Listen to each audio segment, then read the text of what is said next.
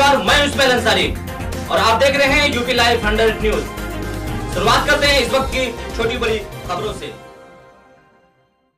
Indian reporter association ने बाबागंज में बैठक आयोजित की गई संगठन विस्तार करने के साथ साथ तहसील नरपाड़ा मोदीपुर ब्लॉक पढ़ा ब्लॉक मिहीपुरा को चुनाव किया गया। बहरेज के आज इंडियन रिपोर्टर एसोसिएशन ने बहरेज के तहदान में ब्लॉक नवाबगंज के बाबागंज कस्बे के हाजी मोहम्मद यूसुफ डिग्री कॉलेज पत्रकार के आवश्यक बैठक जिला अध्यक्ष मोहम्मद अकील की अध्यक्षता में आयोजित की गई थी। कार्यक्रम में मुख्य अतिथि के रूप में संगठन के जिला अध्यक्ष राशिद अली उपस्थित रहे। बैठक के दौरान ननपारा मोतीपुर के तहसील पद अधिकारियों के साथ ब्लॉक बलहा ब्लॉक मोदीपुर के ब्लॉक नवाबगंज के चुनाव किया गया।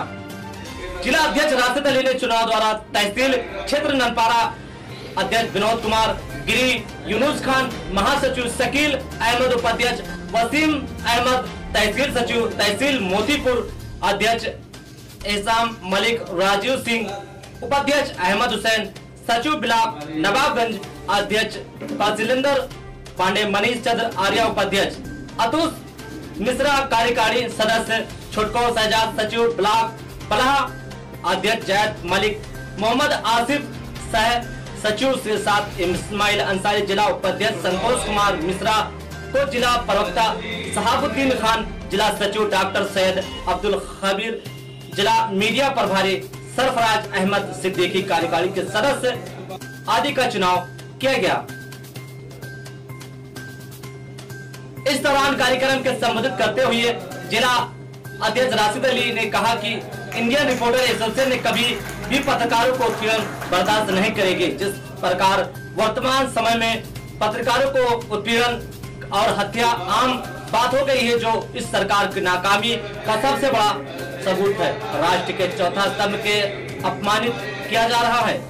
हमारे संगठन पीड़ित पत्रकारों की आवाज़ बनेगा और कोई भी पत्रकार संगठन में सहयोग मांगेगा, उसका संगठन सहयोग करेगा।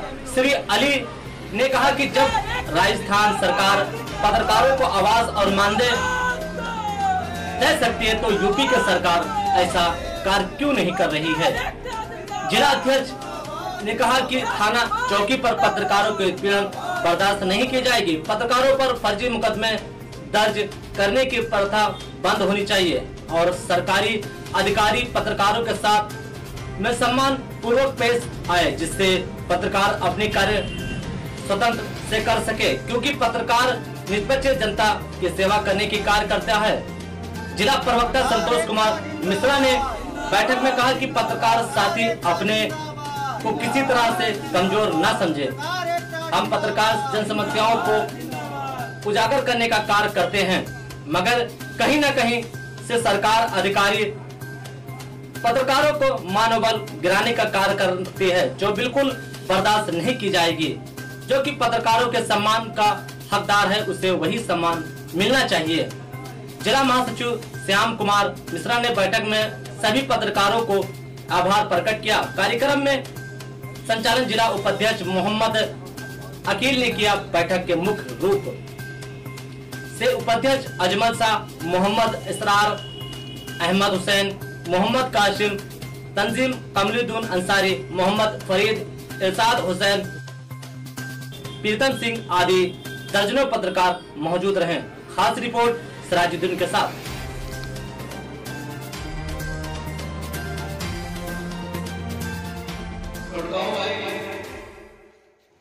जी नरेश कुमार आर्या मनीष कुमार आर्या जी हमारे विजय मंडल के संवाददाता का माल्यार्पण और स्वागत करेंगे Manish Kumar Arya ji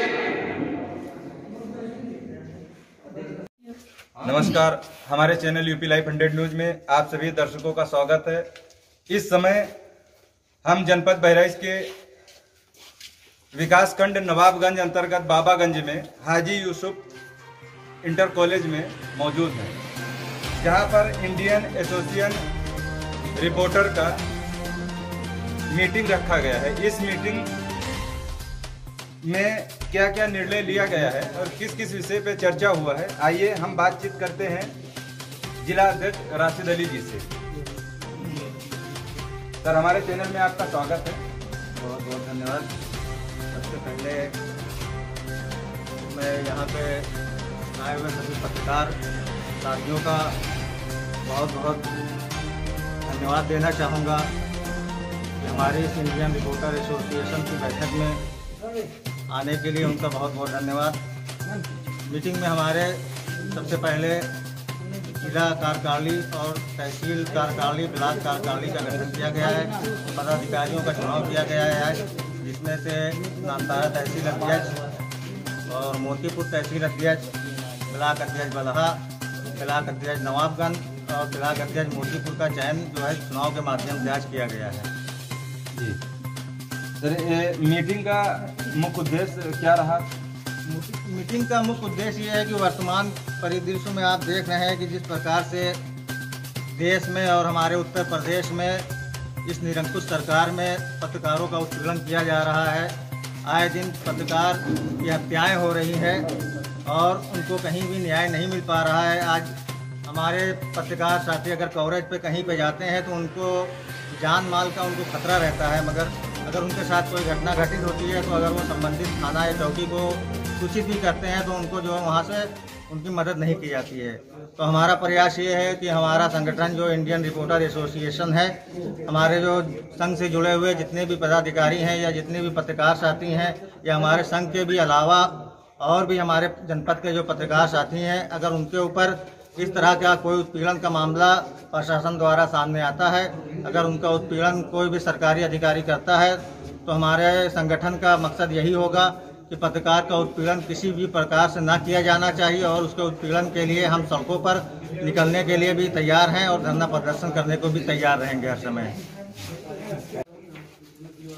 Indian reporter association के जिला अध्यक्ष राशिद अली जी से बातचीत हो रही थी। इनका कहना है कि जो पत्रकार उत्पीड़न को लेकर इन्होंने आज बैठक की है, इस बैठक का मुख्य उद्देश्य ये रहा है कि पत्रकार उत्पीड़न को ये ना सहेंगे और ना ही होने देंगे। पत्रकारों के साथ में ये खड़े रहेंगे। देखते रहिए हमारे UP live hundred news channel को। धन्यवाद।